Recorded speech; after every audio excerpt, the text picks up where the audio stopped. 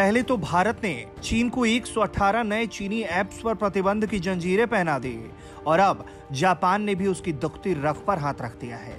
भारत के साथ चीन के खिलाफ कदम ताल कर रहे जापान ने अब फैसला किया है कि जितनी भी जापानी कंपनियाँ चीन में काम कर रही हैं, अगर वो चीन को छोड़कर भारत आती हैं, तो जापान की सरकार उन्हें 22.1 करोड़ डॉलर तक की सब्सिडी देगी। मतलब साफ़ है जापान अब चीन को भिगा भिगा कर धो रहा है। दरअसल जापान ने इसके लिए अपना पहला कदम अप्रैल में ही उठा लिया था और अब जाकर जापानी सरकार ने भी उसे अमली जामा पहना दिया है।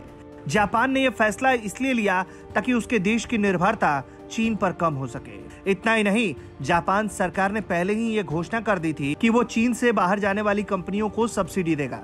वैसे लद्दाख में चीन का दाव उल्टा पड़ गया। और अब उसे अमेरिका, जापान इतने झटके दे रहे हैं कि उसे पसीने आ रहे हैं। क्योंकि इससे पहले चीन को चौतरफा घेरने और उसको दुनिया से अलग थलग करने के लिए न सिर्फ़ भारत, बल्कि ऑस्ट्रेलिया और जापान ने चीन पर निर्भरता को खत्म करने के लिए एक त्रिपक्षीय आपूर्ति श्रृंखला, यानी एससीआरआई की शुरुआत करने पर बातचीत शुरू कर दी थी।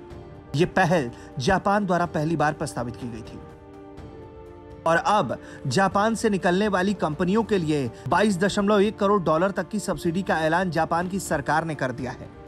मतलब इतना राहत कोष जापान ने सिर्फ़ चीन से निकलने वाली अपनी कंपनियों के लिए रखा है। भारत के साथ एलएसी पर जारी गतिरोध के बीच जापान में भी चीन विरोधी भावनाएँ जो हैं वो चरम पर हैं, क्योंकि चीन के भारत से भी बड़े व्यापारिक हित जुड़े हैं। उसे यहाँ से भी कई व्यापारिक मामलों में गंभीर परिणाम भुगतने पड़ रहे हैं, जो कि आने वाले समय में और भी बढ़ सकते हैं।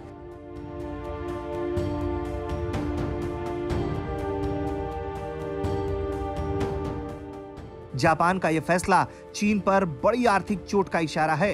वो जितना ज़्यादा चालाक बनने की कोशिश कर रहा था, अब उसे उतना ही नुकसान उठाना पड़ रहा है।